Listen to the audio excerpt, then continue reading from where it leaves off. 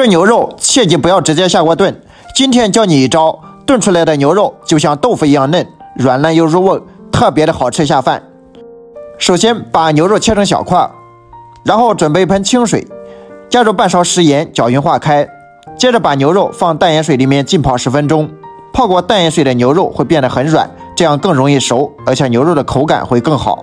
每天都在废寝忘食、呕心沥血的教做菜，能给个小红心鼓励一下吗？感谢大家的支持。好了，已经泡好了，我们看一下泡出了很多的血水，然后再用流动的清水冲洗干净。接着把牛肉冷水下锅焯水，加葱姜和料酒。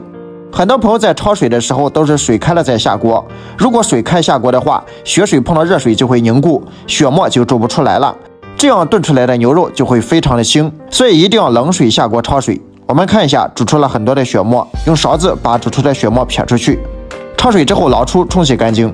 起锅烧油，下葱姜和干辣椒炒香，然后倒入牛肉翻炒均匀。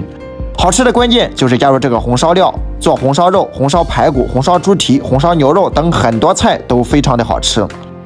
然后翻炒均匀，翻炒均匀之后倒入砂锅，再加入半罐啤酒，去腥增香，软化肉质。要想炖出来的肉更香，一定要往里面加入开水，加入适量的开水没过牛肉，然后盖上盖子，小火慢炖一个小时。时间到了，打开看一下，哇，真的太香了，香喷喷的红烧牛肉就做好了。这样炖出来的牛肉软烂又入味，真的太香了，开胃又下饭，做法也很简单，喜欢就赶紧做给家人尝尝吧。